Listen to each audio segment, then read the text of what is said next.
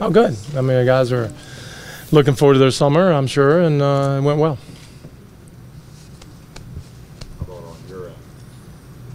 No, we haven't. No.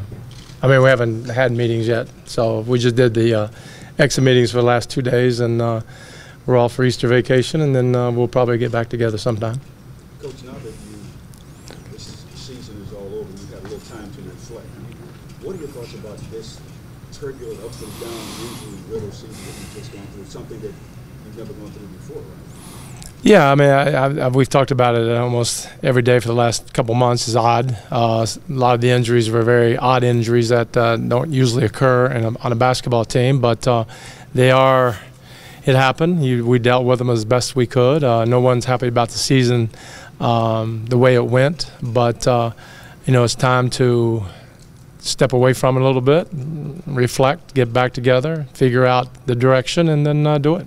Does it disturb you, or anger you, or frustrate you that uh, your position is uh, being talked about as well? No, I, I think every NBA coach, especially come off a, a year that no one's happy and uh, that goes sideways, I think every coach should be under scrutiny, and they're under it even if it goes well. I mean, you know, con- considering last year that some of the coaches that got fired, uh, some of the best years they've ever had. So that's part of the job, and uh, and you know I think as coaches we hold ourselves under scrutiny. We see what we could have done better and should have done this, should have done that, and uh, uh you do reflect on it. and You try to do a better job.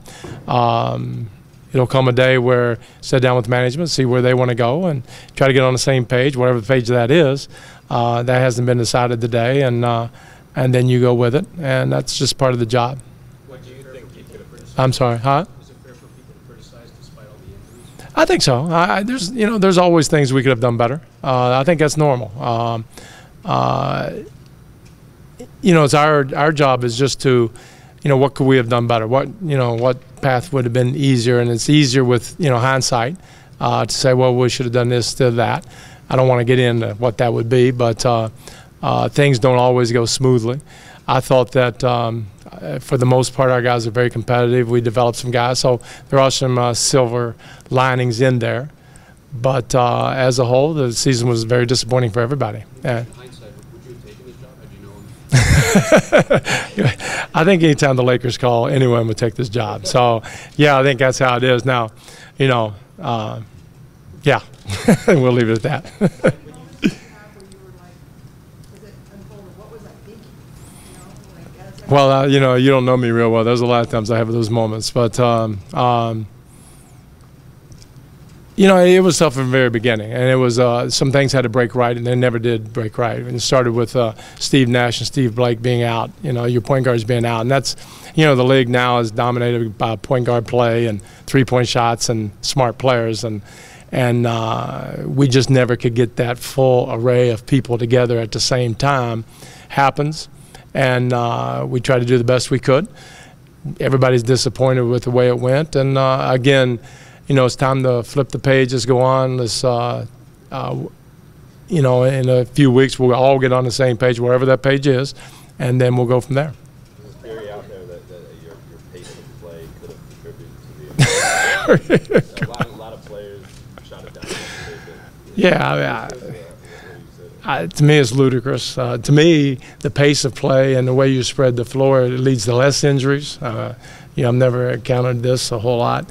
Uh, just because you don't pound and hit, and and uh, to me, it leads less. Now, whether that's the case or not, I don't know. If I see scientific data that shows that's not right, then uh, obviously you want to tweak something. But uh, I, I don't believe in that. How, how would you describe your relationship with Kobe right now? Um, professional. You know that he's a very competitor, big time competitor, and uh, he's going to do everything to win. I think I'm competitive, and I'll do everything to win. Sometimes it does butt heads a little bit, but uh, um, nothing out of the ordinary. Are you, guys, are you guys on the same page about how about the direction the team going forward? Well, yeah, th- that direction be winning. So yeah, you're on the same page. Now, you might have little tweaks and you know, I think every coach has to tweak stuff. You know, I ideally I have something. Ideally, he has something. It might not be the same. Uh, you try to find a, a middle road, and uh, you get only got to be careful not to dilute it so much that that uh, you don't get the best of anything. And so that's the tricky part. But uh, uh, one thing that I know is that he will do everything to win. And as a coach, that's kind of all you can ask for. Isn't that kind of what's, what's happened here the last couple of years where it's kind of been diluted so much that you don't get the best of everything, right? Well, a little bit, but you know what? It's been diluted because of injuries. Um, we didn't get the best of anything because Steve Nash wasn't Steve Nash uh, for reasons, and, and having Blake out at the same time. And um, when that happens and you don't get uh, attraction or you don't get the consistency in the play, then it starts to erode different things and confidences and, in different people, and uh, that that happens. That's a byproduct of losing or struggling or trying to get over the hump. You can't quite get there for whatever reason, and and so you you understand it. You just try to make better choices and do better, tweak better, you know, whatever it takes. All things considered, how would you evaluate yourself this season? Uh, you know, I've heard that question a lot of times. I just don't understand that question. I, you know, I'm going to do the best I can do, and it's not up to me to evaluate. I don't, you know, I don't know if you know, but I don't hire and fire myself. You know, it just doesn't happen. Uh, so that's up to other people to do that. I don't sit around and and uh, I do try to reflect and find out what I could do better. Uh, no doubt about it. But I, you know, I don't send myself a report card. I just don't do that. In that reflection, is there, are there things that come to mind? Uh, oh yeah, you know, yeah, things I can do a lot better. With so much negativity surrounding this season, a lot of players have come to your defense. Is there any comfort? Come to what? Come to your defense. Uh huh. Is there any comfort in, in knowing that? Yeah, I think that's. I think most of us are in the coaching business to have. Uh, it's the relationship between players and coaches, and, and trying to reach a common goal that is the bond that that makes coaching fun. Uh, and with this group of guys that we had, especially uh, after things went sideways and uh, and the negativity was pouring down on them and me and, and, and the team, um, that you develop a bond, and yeah, that's it'll stick with me. And these uh, that that is special.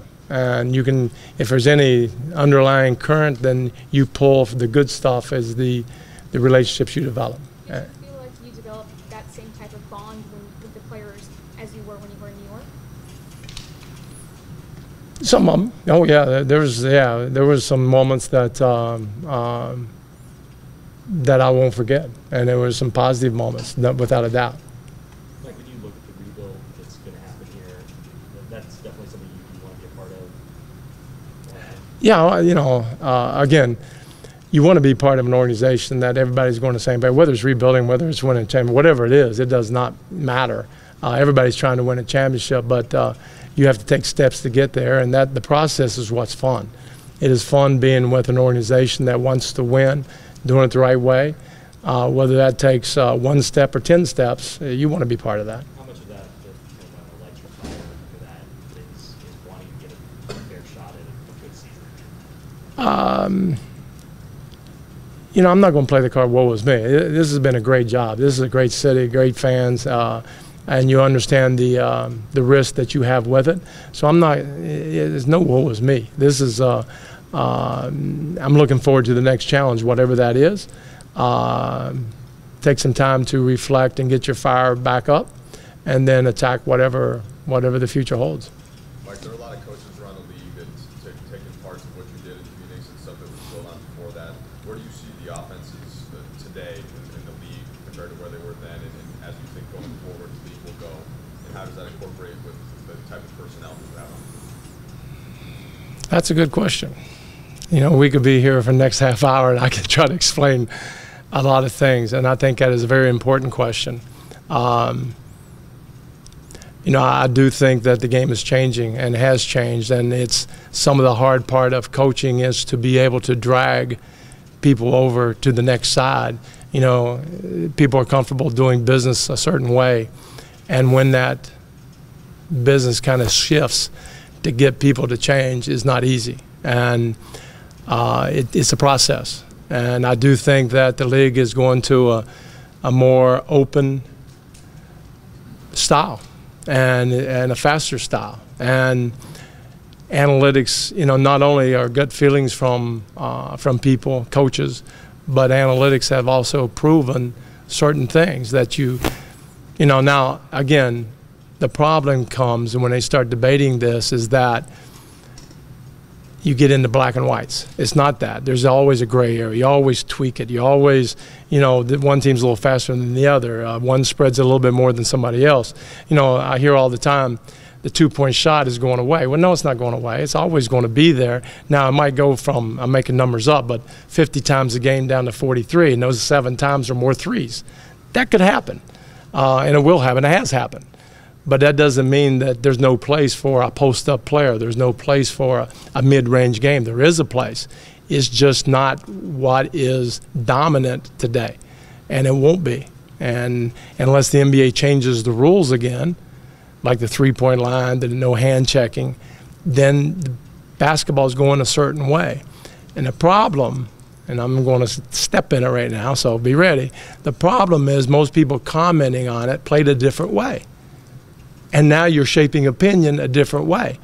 And that's not where it's going to go. And as soon as they embrace it a little bit more i think they're better off. But basketball's changed. And it's not the same basketball that your father played. It's just not it.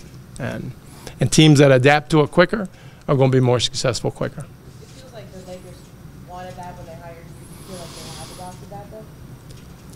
I, I think it's been a process and will be a process. Uh, that's probably the the most challenging part of the job of changing opinions. And and you can't in you know you need everything to kind of go the right way. Well it didn't. And so the opinions out there that that doesn't work. Well i'm not i'm not convinced about that. And again that's the challenging part of the, you know of the league How, how does fan support fit into that? Because what happened this last year to, I, I think you're the face of that, unfortunately, in, in Right. scapegoat, whether that's fair or not. Does that, how do fans into that? How, how does, how do you win over the fans? How do you change that? But winning. I mean, that's the only way you can do it. And they're right to, to feel the way they feel because we did not have a good year. And that's that's comes with uh, being a fan. You just, you know, um, opinion is shaped by the record. I, you know, you have a hard time explaining. Well, this really works when you lost ten in a row. It's hard. It's hard to explain it. And so there's no, but you can also be shaped um, by what the average fan thinks. You have to have a program. You go with it. You stick with it. You you put hard work into it. The only thing is you have to convince the players that's the way to go, and that's when everybody and the organization. When you have that, then eventually the fans will follow because you should win. And if you do the right thing, then they will be there. Did the players buy in? I know there were moments with Chris, moments with Pau. you Right. know, Where you struggled with that. And, you know, and I think every year, uh, think about it. Every year there, there are going to be criticisms. A player maybe not get enough time they wanted, not enough touches, which I hate that word, but um, not being um content for a certain role. Uh, that's that's always a little bit of a chatter, and I think in media centers like L.A., New York, more of a chatter is a little bit, you know, it's loud. Um, but those are things you deal with you go on, and I think that's part of the business. Uh, so you you try to you try to make sure that everybody gets on the same page, and you tweak what you can't get everything there, and you adjust to your talent. You have to adjust to it, and I and the problem here has been we've never had an, the the team long enough to get traction and to show that yeah okay this is it, or to even even to show me that it doesn't work. You know, because you you're, you're kind of shooting in the dark a little bit because of injuries and because not the same people are here. Um, so those are challenges that uh, going forward you have to meet. Mike, keeping in mind that uh, obviously there's so much uncertainty every day with next year's roster, what could be done, whether personnel-wise or structure-wise, to improve the other side, the defensive side? Well, that definitely has to be improved. There's no doubt, and um, that comes from um guys playing with each other for a longer time. That's come bringing Kobe back. Obviously, is going to help im- immensely. Uh, getting a sense of swagger that you're winning and playing well leads to better defense. Your energy levels. Um, and then you know playing the guys that are defensive minded also. So it's a little bit of a combination of a lot of things, but that's where it has to improve. Um, so other than that is just making sure that you get people in the right spots, let them stay there, let them settle in, have a bond, and defense comes from the energy that and the awareness that you have, and being able to play guys that that will buy into that. Well, you know, that's that's a nice word too, holding people accountable. You can a little bit, but when you only have eight guys, they kind of know they're going to play. You know, it's kind of like, well, really, I'm not playing today. So you can preach and talk and stomp and, and all that, but uh, uh, holding people accountable is whether they play or not. Uh, now, there's double standard. You know, you got to hold people that accountable that that need to be on the floor, especially uh, you know stars and different different ones. So there's different ways you have to hold people accountable, but the biggest thing is having them buy into the system. This is how we're playing, uh, pulling in the same direction, and then uh, and everybody uh, trying to get better at what you're doing.